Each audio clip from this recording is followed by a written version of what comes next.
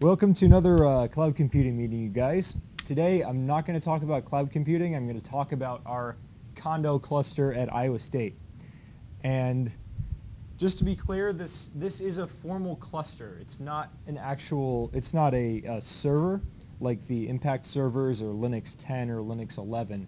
So when you log into it, there is going to be a head node and node is just a group of CPUs and a CPU is just a group of cores and that's sort of your your your your breakdown of computing resources um, well your processor resources. And when you log onto the head node that's just a couple CPUs and then from the head node you will submit jobs to a collection of other nodes. There are several. There are, are it's not just the head node. So when you log on, if you check you know, the number of CPUs or the number of cores and you get a small number, just know that you have access to this you know, huge bundle of computing resources that's, that, that you have to formally submit jobs to, to access. And I'll go over that. So to set up your account, you would contact this HPC help address. They're really fast, really quick about about uh, getting you the right materials to set up an account. I've worked with them in tech support for uh, my my own issues that I've struggled with, and you log in with Google Authenticator, which is a phone app Raymond installed it on a computer, so he can tell you how to get it on a computer if you don't have or you don't care to use a mobile phone. So uh, it's it's possible to use it on a on your on your local machine, but that's another that's a layer of security that that uh, LAS uses for access to Condo and its other clusters. So, and then they send you an email and you follow the setup instructions. The email looks kind of like this. They give you an authenticator code, and you have another one-time code which is different. And you can scan one of these into your phone, the authenticator uh, code into your phone. Basic, uh, basically, you just open the Google Authenticator app, and within Authenticator there is a scanner bit of scanner software built in, and you just put your phone over this barcode and scan it. I'm pretty new to that stuff. But that last Yes. So patience is key when we're setting it up. Yeah, you have to keep these things because there is a one-time code. But in case you can log on to the condo by the Google Authenticator, I it happens to be one time, like, uh, and it may be also useful if you don't have your cell phone. Mm -hmm. For the first time, you don't need to use. We, we don't need that. Uh, mobile, the, the Google. Yeah, the first yeah, time. Every, every time you need it. But first time you don't need it. Right? Because you had. Uh, oh, you can use that. Yeah, that one-time code, the Google Authenticator. Yeah. One time, you can use it one time. Yeah, just one so time. you probably don't want to use it the first time. But don't use it the first time, right? yeah, yeah, yeah, yeah. So don't use it the first time because if you use it the first time, then you lose it. That's actually for like later days. Oh, yeah, I already use it. So, and if you, um, for some reason, you lose your one-time code, they may be able to recover it for you, the HPC help people. Also, sometimes the, your, yeah. But if you forget like the password or everything, you have to re go through all these the whole thing. Yeah, that's right. Mm -hmm. yes. But bear in mind also that Authenticator may not accept your verification code all the time, and I'll go over that in a bit. Um, uh, so there's there sometimes it may not let you on, but things are okay anyway, and I'll I'll go over a little bit of what I mean when I explain Authenticator. So this is what it looks like. So this thing, this six-digit string, is a verification code, and it is this code that renews every few seconds. So I have it on my phone already, and you can see the authenticator you can see the, uh, the code and yeah. There's this little icon here that's part of a, a wheel that uh, part of a pie wheel and it gets eaten up over time. It's twenty seconds. 20 seconds. Okay. Renews every 20 seconds. You guys, uh, you guys remember the movie A Beautiful Mind, and where where John Nash has this in his in his uh, um, delusions, he has this code on his arm that that's different every time you look at it to for him to access stuff. That's that's what this is. You're, you're John Nash accessing, uh, you know, some some Cold War machine. That's that's what I think of every time I log into Condo. So it's probably so. Yeah. I mean, even I use FTP, I have to every single s- uh, I mean, upload or download, I have to use this. I have to actually enter the code. Yeah. Yeah, so don't. Well. Just use Git. Get on there, use Git. Oh, okay. Pass stuff around. Yeah, that that's what I do. hmm Yeah, it is troublesome, but they don't want to use SSH keys, and that's, I guess, their decision. So, to log in, first you need to choose which node you're going to log into, or or to use, you know, SSH for. So, there's the head node, which for most purposes you would use for, you know, SSH, SCP, that sort of stuff, and it's just your standard SSH, your username, and that's the address that you that you type in after the at sign. Um, there's also a data transfer node. You can log into this. It's Condo DTN, but um, that's for transferring files that are several gigabytes to tera, a terabyte if you have even have that space. Um, so there is a node specifically devoted to uploading and downloading large data sets or you know thousands of, of files that are each a megabyte in size um, so if you're doing that kind of file transfer i would use the, the condo dtn instead of condo but you're going to use the condo head node for most purposes you can you can log into either if you want and you'll see the same file system when you do Can I ask you, where did you find this information? Oh, that's a good point. So I will skip to the docs then. Um, I was planning to show this at the end, but uh, repository. I guess I should. I can go to. Uh, let's see. I can go to the GitHub page.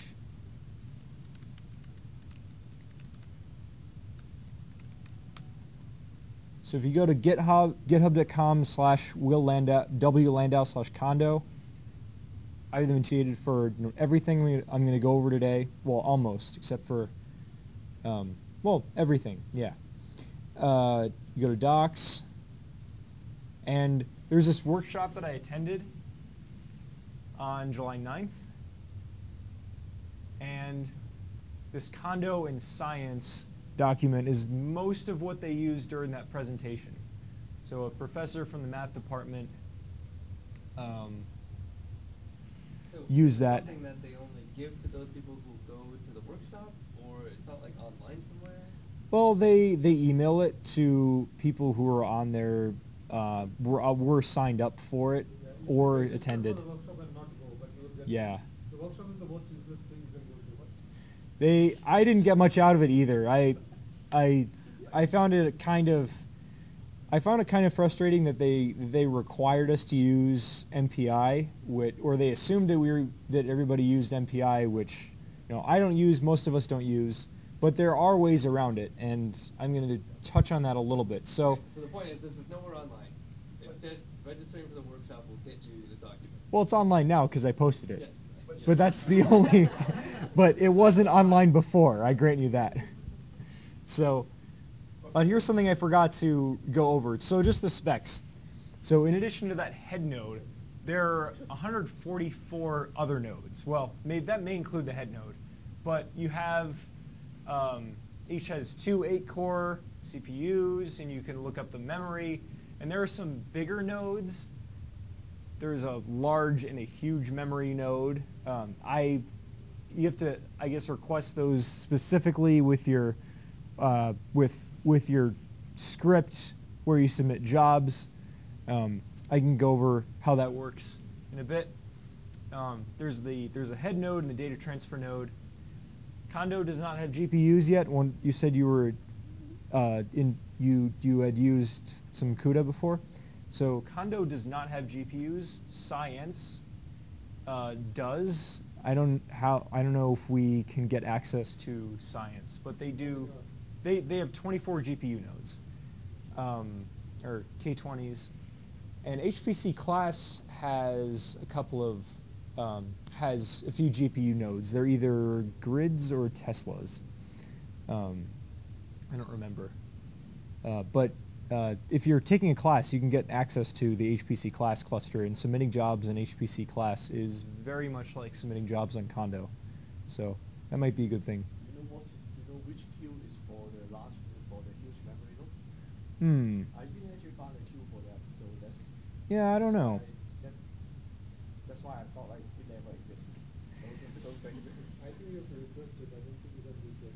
So like, uh, so you, so basically, then you request all these resources, they send you to the queue, to the corresponding queue that include that resources. But, uh, but when I checked the queue specification, uh, you didn't see like a, like a huge memory specifications for any of the queue. Yeah, I think That's, that's why. It's not obvious, I mean, I think Yeah. it's hidden there. Well, just, just ask. Email the HPC help and say, hey, how do I get access? But with regard to Yeah. HPC class, I think the instructor has to put it. Mhm. For HPC class, there is a script writer for the uh, which I was going to get to later, but I guess I'll I a lot of things point to this, so I guess I'll go over it now. So, and I'll come back to it. So the nodes for this is for HPC class, and you can request the type of node. You can request uh, among these three, which is what's available in HPC class. I don't know if this exists for Condo. Um, but it's it's useful for uh, some things about you know how do you set up things in condo but the nodes are different obviously. So uh, that would sort of be what to look into. Uh, but there is a way to specify the node type in those uh, in the commands that you use to submit the jobs. And uh, yeah. If it's specific to HPC class, can you just create the script here and submit it on Aurora? So Because this was intended to be specific to HPC class, but if the nodes that if you request a compute node, then then that'll it'll, it'll work for Condo because Condo also has compute nodes. Yeah. But until Condo has GPU nodes, you know, if you if you set up a script with, with uh, selection of GPU Yeah, up here, then yeah. But my, so the reason I'm asking is because this script has been there for a while. Okay, it did not used to be called HPC class, it was the general script for all of them. Hmm. So I suspect that it's the same thing, and this will work everywhere. So previously, we, if you were on site stuff, there was something called site from database. Okay, that was the precursor. Hmm. And uh, there was something else also, and there's CyEnce also, right, at HPC class. Well, it was called education university. But anyway, previously you created one script for all of them, similar script, and then wherever you had access, you dumped it.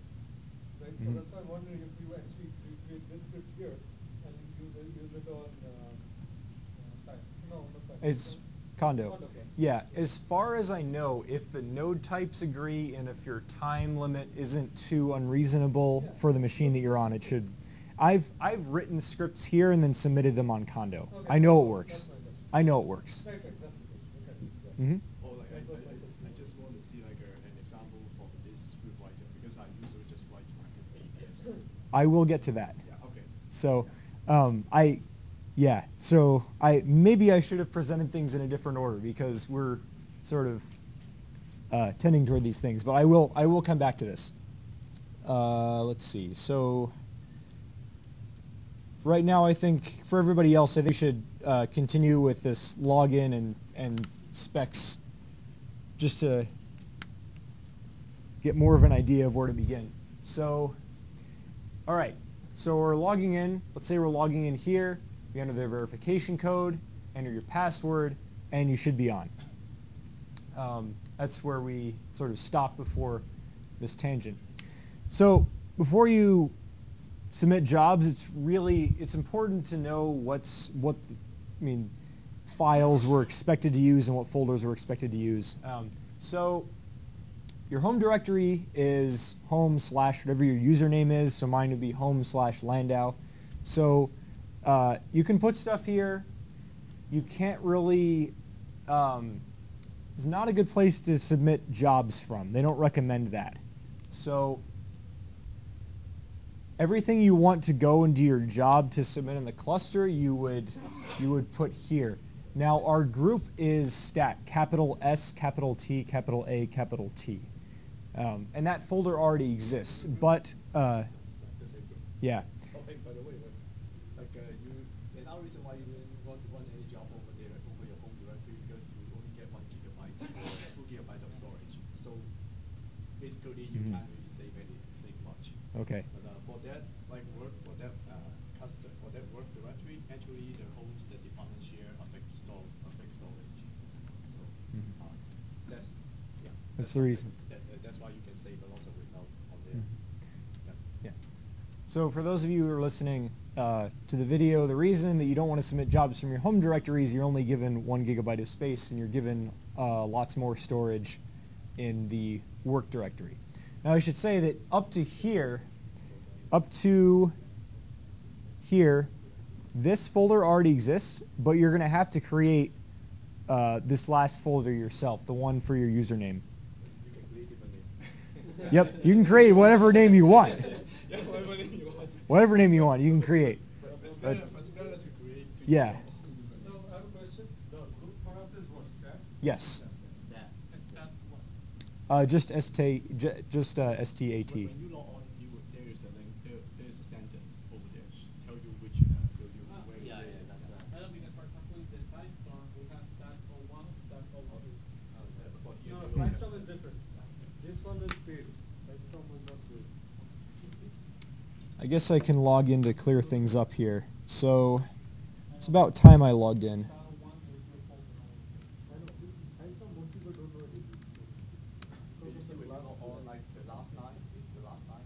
Yep. This is your work directory. Right. And I I set up my bash RC so that I automatically go into my work directory and just not go into the home folder at all because I live in my work directory. That's useful. So Out of curiosity, how do we use negative two hundred and seventy percent of our monthly allocation? But we didn't we didn't use Mm. too much like last few months. So now like accumulate, like we accumulate more. Okay. Yeah. That, okay, the rest of the sentence is kind of offset. so yeah, can you can you explain why this? Yes. It's pooled. The group is the group. Has has a monthly allocation, but you can store, you can be on the backlog, it says up to three months. So you can carry over up to three months balance. And then what happens? Then you, you lose whatever before. Well, so we better get on. Absolutely, I mean, like, so we have 80, 87, 84 hours that we have per month, okay. right? And we have an allocation, a balance right now of 24,000.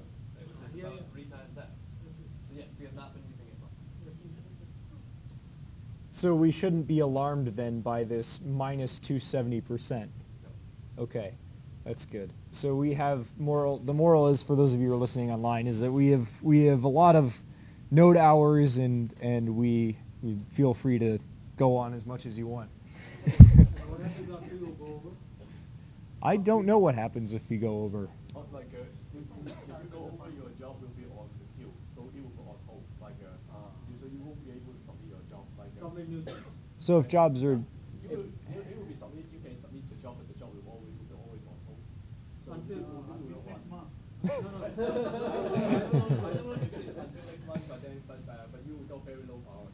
But uh, it is until then, I mean, until things become available, right?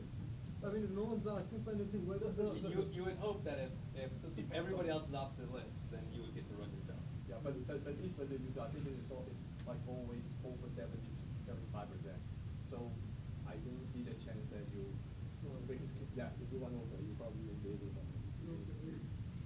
Yeah. But I guess they have some other policy function, maybe you can still run your job if the utilization is very low, but I don't know that, I don't know for you. Mm-hmm. So another thing, how did you member of that, uh, work, that stat? I don't think you need special permission to create the Send to your home. PC. Oh, that were Yeah.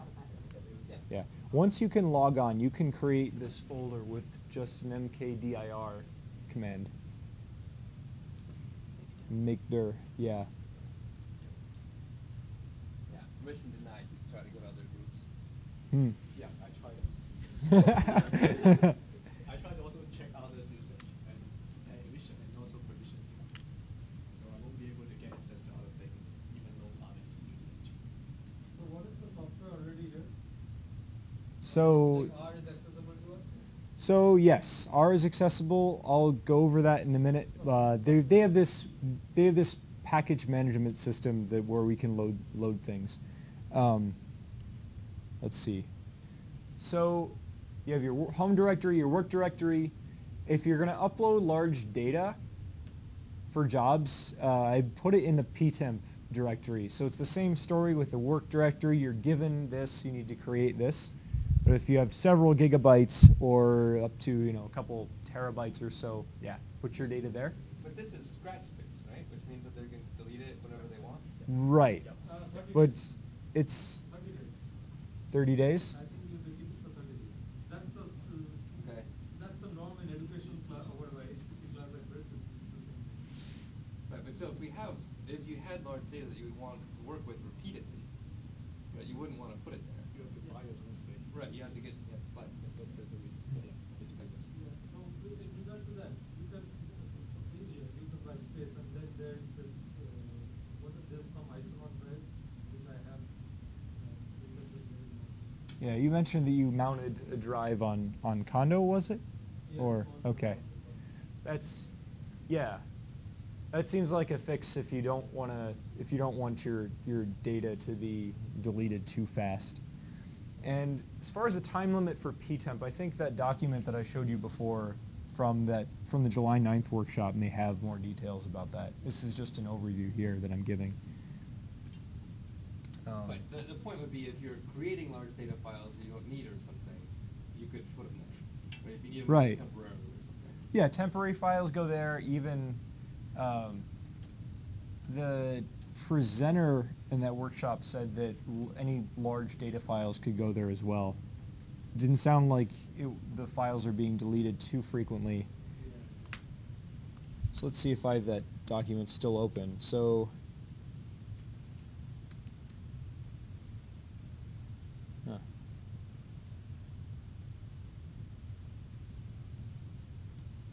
So the present directory was explained. Transfer.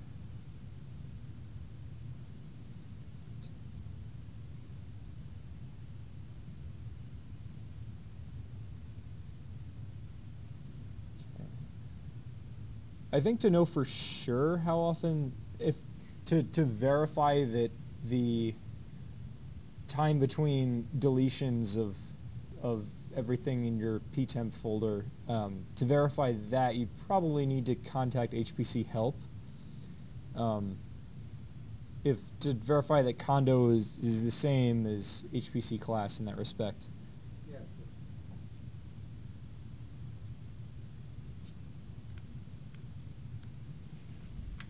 All right. So that's what you need to know about in terms of folders.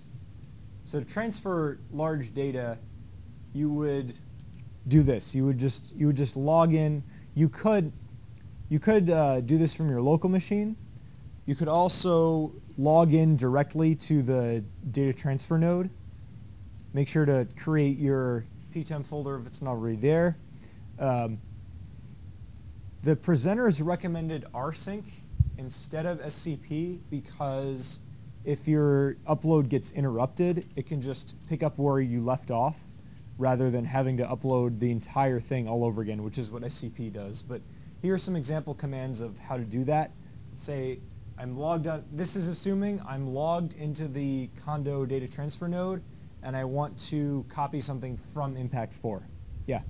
I wanted to also suggest using capital S in the rsync. Capital S, the capital S flag. E S? Capital S, right. So it means a sparse transfer of files, because what happens is otherwise files may get populated with different places, so the file can grow in size when it's transferred. So always use capital S. The sparse transfer is what cap what the S flag does in rsync. Um, Yeah, yeah, in rsync. Okay. Or you can write that, sparse, Okay. but capital S. stress transfer. Hmm. I use rsync several times a day. So Uh huh. Good, good. Yeah. So Z the uh, for everyone else, the Z uh, Z flag and the S flag are also useful for rsync. Very very big files. Capital S. Capital S. Sorry. Capital S, lowercase z. Good. So finally, we're at submitting a job. So that is typically done from the head node. You would just go to your work directory, make sure it's created, and then you submit something with this q sub command. So if your if your dot .script file uh, contains commands to submit a job, you can say just q sub and then this thing. A lot of the commands that you're going to use uh, are, you know, they, they start with a q. So you have you'll have q sub and q stat and q to manage jobs. So any, there are all these q commands that you that you use. So, and that has to do with the and if you want to know more about this and get really good at it, the system is for that manages the cluster is called Portable Batch uh, Portable Batch System or PBS. And uh, so I'm going to go back and go over some more things, but right now I'll just uh, just go over some links. Yeah. Um, submit an R job if we need some extra, just R package.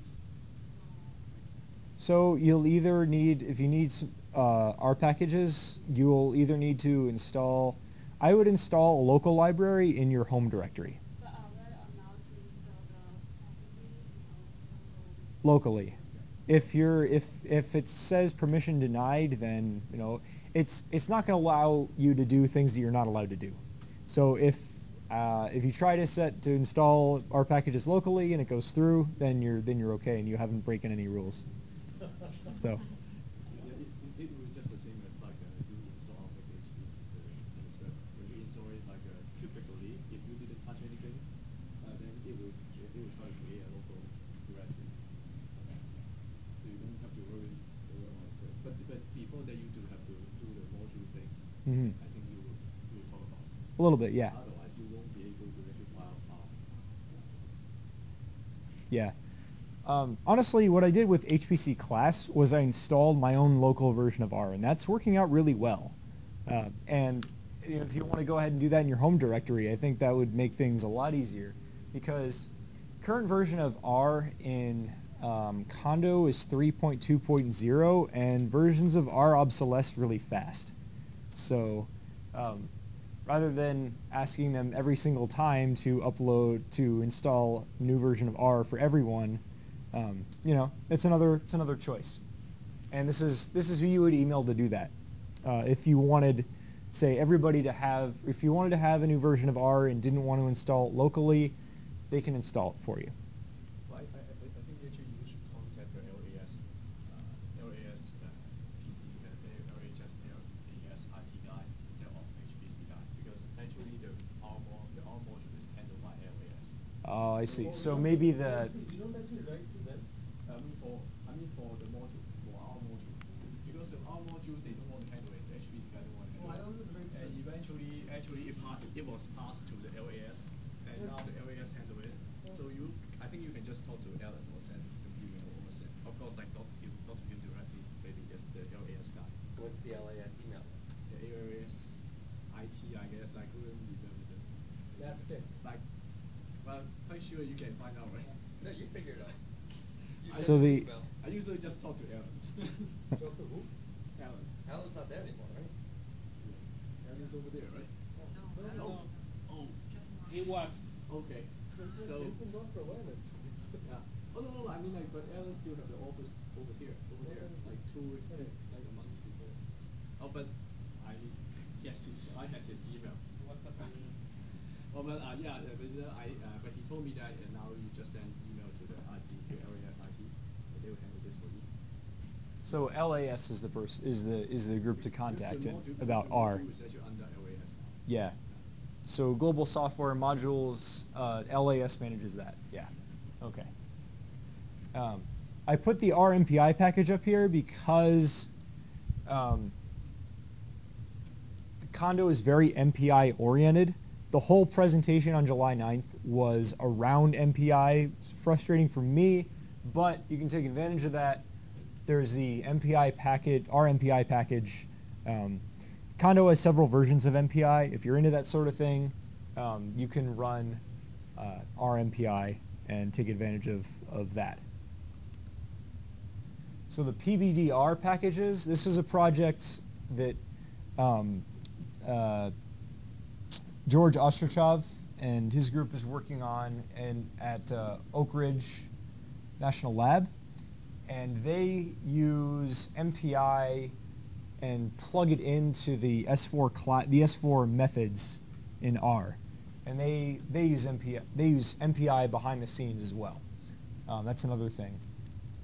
But you really don't yeah? I want to add something. So- So the brain behind it, is a past student of ours, Wei-Chen Chen. Oh yeah? Yeah. So Wei-Chen Chen Yeah. was behind uh, pbdR as well. Very nice. Yeah. Good. So I put a link to the materials. Uh, it includes the for today's talk. It includes these slides and a few links. I may be adding some more links. Um, and I mentioned a script writer, and I'll go over that uh, right now, actually. So we submit jobs through a PBS script, and these are regular bash shell commands. So you want to run a job for one hour on, let's say, let's put uh, let's put four hours on two CPUs, and with four gigs of memory, and uh, let's stick to compute nodes for now. And let's say you're good, you're just going to run r cmd batch um, run.r, and those are your commands. And you click PBS scripts, and this is what it gives you. It's very verbose.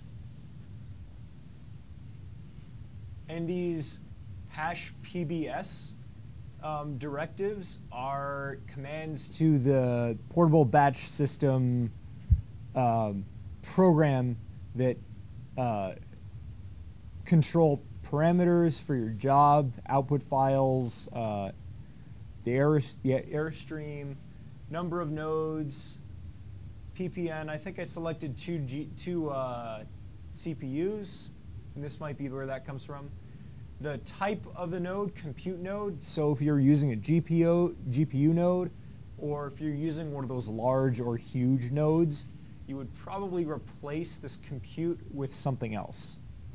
And wall time is maximum time you run some that to uh, run something.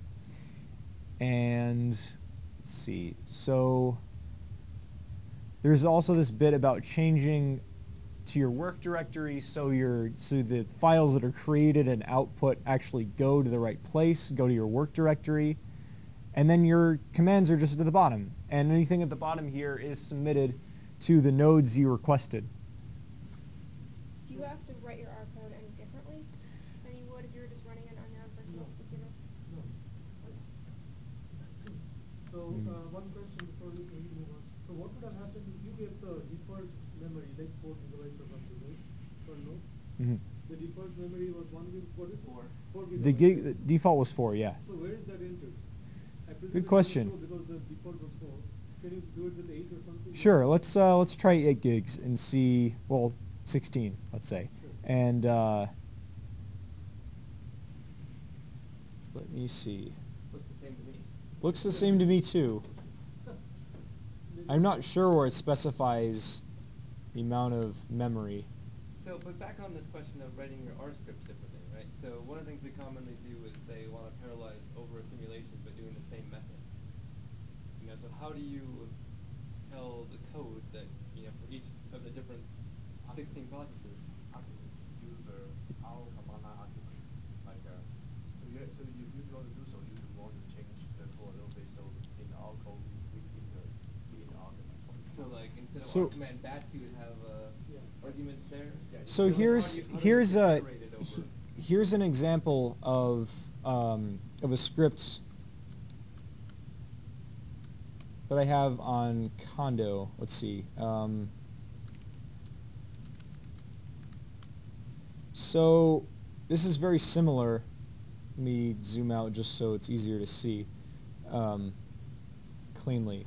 So here I've I wrote this note to myself that how you submit this script. I know it's called SM2, but I originally called it job.sh, but I didn't change this. So, so if you want to pass in a, an argument to a PBS script, you would use this dash v flag, and then right after it, whatever shell variable name you want. And so you've created you've defined this environment variable a to be equal to 1. And then inside here, this command where I call r, I would pass in that argument here to as as an r command line argument. Um, that's how I've been that's how I've been doing things. That makes A always one, right? Yes, unless I unless I say dash va equals two, for example, and Right, but that one qsub command is going to spawn the whole set of processes, right? correct. It's going to spawn. It's going to spawn a set of processes. Well, it's going to spawn one job, and that could and you could spawn several processes from that from that job. Um, let's see. So what Jared is saying, okay, so this is what you should do. I would do it, put in a, so basically your point is that di- are going to work on different, different R scripts are going to work on different files, right? Yep. I'd probably put it in as a loop in there or something. Loop in where? No, no, not loop, sorry. What I meant was that, um, so let the node number of job, job number, whatever it's called, uh, put that in as a, as a, as an argument to this R. And according to that, inside R, the, the correct file will be. Right, so then, So the question is, how do you do it? Yeah, yeah. No, no, I think you do it exactly the same, so. no, but so- how do you get access to that variable that says that this is node number one, or this is job number one, or whatever? You, you mean how to read this document now? Or? No, I know how to read the arguments in Okay, R. yeah. I'm saying how, You want right. to track the, where the nodes are Yeah, going? which node is, right? I, So- that's why I'm opening MPI, so you can track where the, the jobs. It is a file. nodes are sitting. Yeah, yeah, that's right, There's yeah. a PBS, there's a PBS look this file. That you So can we, read, and then I I, can I know you contain said that all the core they care about information. MPI, but, uh, but what Yeah. about OpenMP? I haven't tried OpenMP on, on this, but presumably they'll they allow it. OpenMP is easier than MPI in my opinion to learn, so I haven't tried it though. Doesn't have OpenMP? I I think I haven't tried to use it. They, they have, they have a. I'm I'm I'd be surprised if they didn't have it. They have a module about that, like, uh, they have a module, like, uh, you can always. So what do they have? They have uh, the, You do mod, you do module, module list, and then they have a module Yeah. about open. Let's see module. So to to see what kind of modules you have, you'd say module list. so And then- OpenMP. Sorry, sorry, module, I couldn't learn it. List. I think they're talking about two different. OpenMP? No, the list is uh, only listing the, uh, the, the one that you have loaded, I. Oh, okay. Module what? Hang on, I think they're talking about two different. Module avail. How's that? Yeah, the module of it. I, I mean like uh, the open actually you have to go into the module, go the module. OpenMP. Yeah. Yep. Go into the module, so that's why you have to actually look in, go in the module first before you do. So by default, we have Intel's MPI. You- By default, you have nothing. Almost. Like you have no, you But- have to log in, you have to log in, all these things. So Yeah. Intel's MPI is available somewhere, but there is also there's also OpenMPI, a couple versions of OpenMPI. There's a module for MPI here, like other kind of. Yeah, there there are several versions of MPI here. So when you But do you- MPI run, what does it do? It does go, uh, open, it goes to OpenMP. Or it goes to- Uh, it goes to. I'm not sure. I'm not sure what what specific MPI version it uses. Let me let me see if. If you load in with, if you load in the the open MPI, it will use the. Oh, you have to load it first, regardless of what you do. Before you load it, you have nothing. That's what I'm. Okay. Let's see. Did I do a module load? I, I don't need an explicit module load personally to use. Um, yeah. Just link to different type MPI run, let's see what happens. So. Yeah. Yeah, and it goes to the Intel MPI. It, it lets you do that. Also, things on things you see on the head node are different from things you see on the cluster. So what I just did may not reflect what happens on those compute nodes. It's not the complete loop. Yeah. You have to load it, so you have to always do the loading phase. Otherwise. Okay, Yeah. I had a question, Sorry. actually, this, I don't know if you know the answer to this. So, you know, all these mounted drives, you, can request them to mount a particular drive, and these access or whatever. So they are accessible to the head node, right? They are only accessible through the head node, that's where they are mounted. How The I modules? No, the, The the drives, the drives. the, yeah. how do you I'm I haven't tried to load drives, so I think you know about that more than I No, I do. nothing. Okay. Okay. It, it kind of did, from reading that document Uh-huh. just quickly, it seemed like maybe the way you're supposed to do it is to copy it onto that ptemp, and then you have access to that ptemp from over. Okay, that's the only way to do it. I don't, well, I don't know. I have no idea, but that's what it seemed like from the document. Yeah, that's, seems right. but- Yeah. So we don't have much time, so there are a couple things that I want to get to.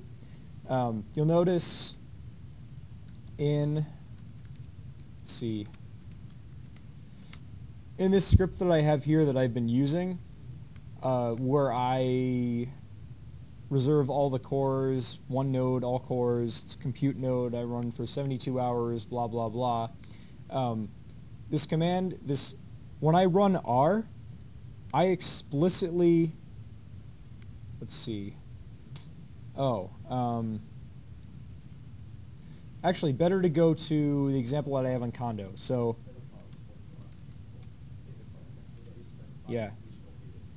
if you, let's see, so if you want to get uh, to examples that will work on on Condo that I've tested, well, that I think will work. Last one, I, last time I tested, they did they they worked just fine. But um, you would go to, you could um, just clone the uh, Condo repo that I put together. So you do that by saying git clone git at github.com dash wlandau dash condo. And I'm not going to run this actually, but this will download all materials from today. You'll have to set up Git and set up your SSH keys on Condo, but Git is Git has really good guides about how to do that. I already did that. I have this Condo folder here. Go to examples. Let's go to the simple example. Now notice, um, let's see. So simple.script is the is the PBS script that I have. Just opening it up and inspecting it should, uh, well, it's slow to load, so let me just get out of here. Huh, it's not responding now. Sorry, guys. I should have just done cat.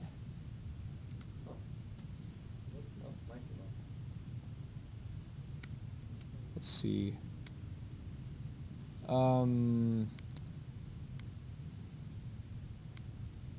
okay, well, I think I should just load that script from my local machine since I think the internet may have broken the pipe.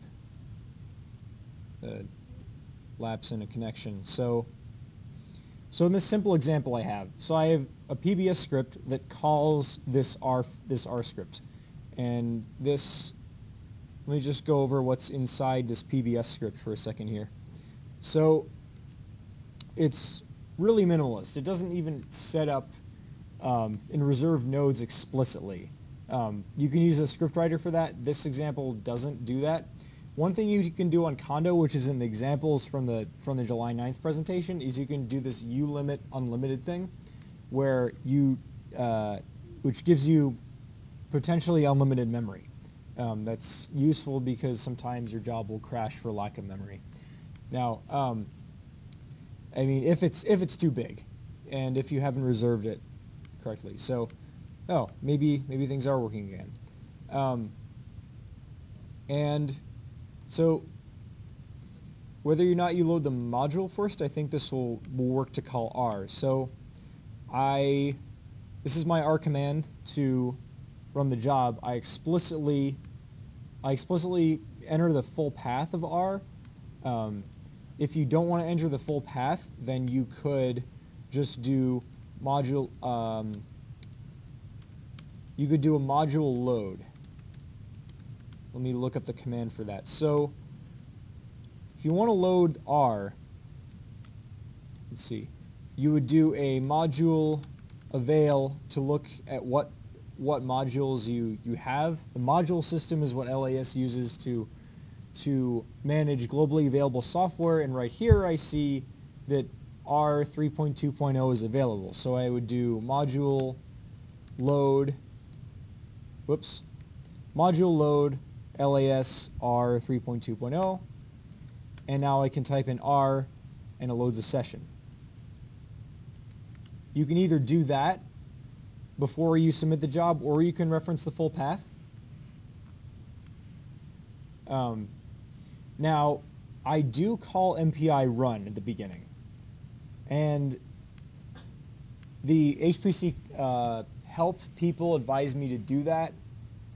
And I've had jobs rejected because I didn't call MPI run on Condo. This is not a problem in HPC class, but um, I've personally I've just been using MPI run with uh, these flags whenever I submit anything on Condo.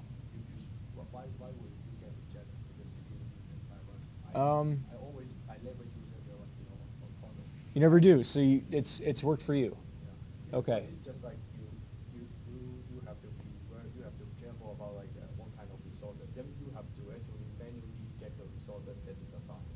If you're not using them, this MPI run plus the log file combination. Okay. Should be fine, right? I'm sorry, what? Like, uh, like uh, you can, I mean, after basically this whole system is for assigning resources, like the Q, I mean the PBS. So they will assign you some resources, and then uh, so uh, so, but then you have to know where where is your resources, right? So that's from the log file, PBS log file. So that store like uh, which log, which core uh, actually you can use. And then like, uh, but uh, usually what is good for, for MPI run is like uh, the MPI will automatically read in this file and then know where to go. But if you're not using MPI run, then Oh, you then you have to manually like, like, like, like look for your resources and then put in the right job. Yeah, that's Okay. So if I don't use MPI run and I use a script that script writer instead and have the full list of, of commands reserving the node, I, should I be fine? So for example, like uh, if you are just using one node, Yeah. uh, then you don't even need the load, need the load file. Because, uh, well, after you have been assigned the, uh, the resources, then you can just do out and then call and then use, uh, use, uh, you use, you, you use hawking to actually get all the load, to actually get all the cores in one load. But i but in case you, if you want like multiple load, then you need to use this file to know which particular slave node you have been, you have been assigned, because those are your resources. Actually, so, I think, so on if you did not use MPI run, all you got access was to the node, to the head node. No, no, no. So this actually, if you don't use MPI run, it would go everywhere. No, no, no, if you don't know, and if you don't use MPI run, you have to particularly look for this, you have particularly use this file to know which slave node you are actually, you actually now have. Because, uh, without this information, you don't know which node are assigned to, and you don't know which node are assigned to who, the slave node. So like, say there are like thirty-two slave node, and maybe for this time, you, after you have, put- you have, to you have sent all these command, it will assign like node three, node five, and node seven to you. Without this file, you don't know which node you have been assigned, right? So then you then don't then you don't know where it, where your resources is. So and then after if you know where your resources is, then you can just access those nodes and then run your job. Yeah. Uh, because the, the, the, the thing the thing is like actually if, if you're on head node, you can actually access to any node, not even uh, not even assigned by this uh, by this PBS. But You can you or can, cannot? You can, You can you can access access to any node. Any node, but then, uh, but it will be somehow like illegal because if you do so, you will ruin others' job. So that's the reason why you have to be strict. I mean, like uh, on this uh, log file things. So those are the resources that are assigned to you. You should only use those resources, not not, not just hacking to other nodes that have been assigned to others. Because you have, you can do so actually. So the moral of the story is, this host file flag and then PBS node file, make sure you only use nodes that are assigned to you. Um, and MP, calling MPI run in this way allows you to do that, uh, right? Yeah, I Right. mean, like, uh, those files, uh, this file uh, does not, this file does not restrict to anything. You can actually access to any node. Right. But this file tells you which node. So to. So I could have put a different node file in here, uh, which could be potentially dangerous if I access other people's nodes. But since I, since this environment variable refers to my node only, uh, then I'm okay here.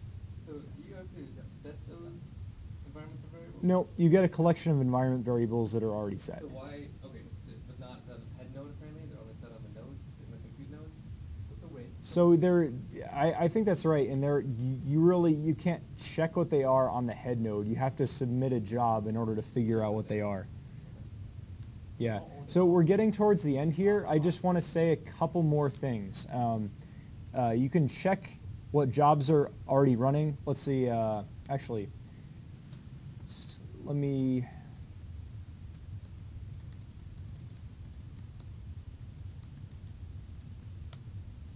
So if I wanted to run this, I would just say qsub sub simple.script.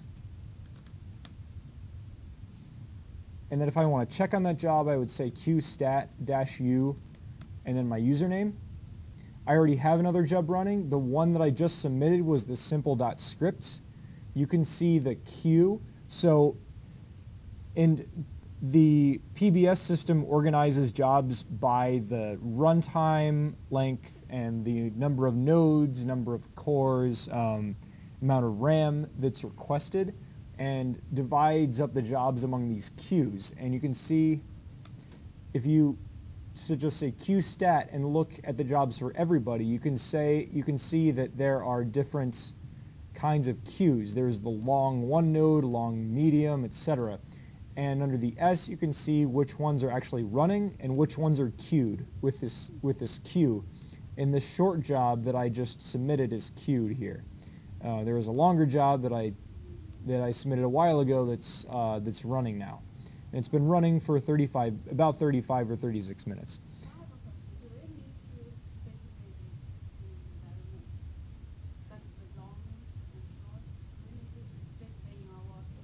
No, you don't. So you don't need to specify the queue that you're submitting to. So this long one node, PBS will figure that out automatically. How does it figure that out?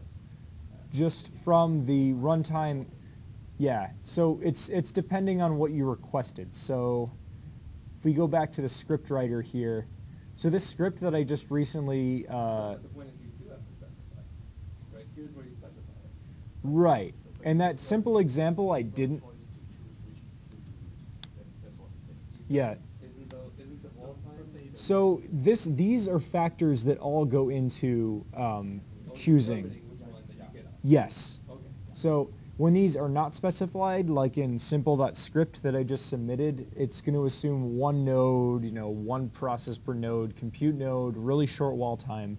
But if you specify these things to scale up, it's going to put you potentially in a different queue. But there isn't a one-to-one correspondence between that and which queue you get on.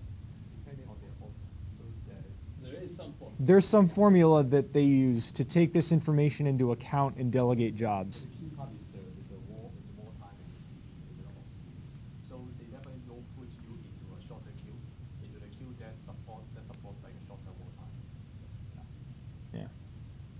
And the other thing, very important, is just the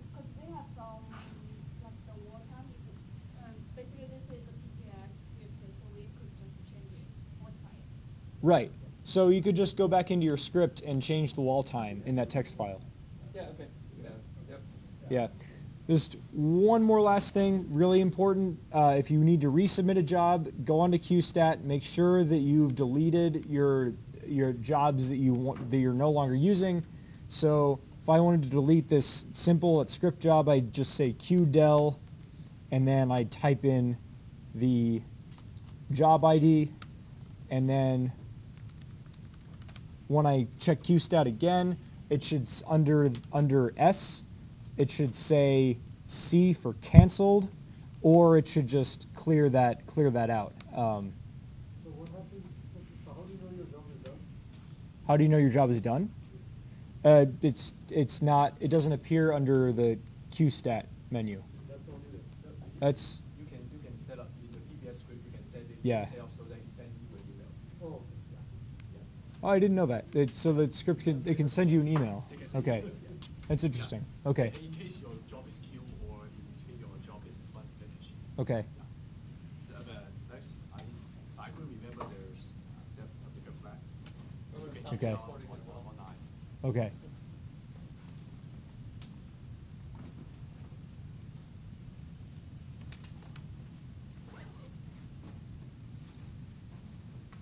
All right, so for those of you who are listening online, thanks for thanks for listening, and I'm sorry about the long pauses. We had a lot of conversation in between, you know, all these all these things.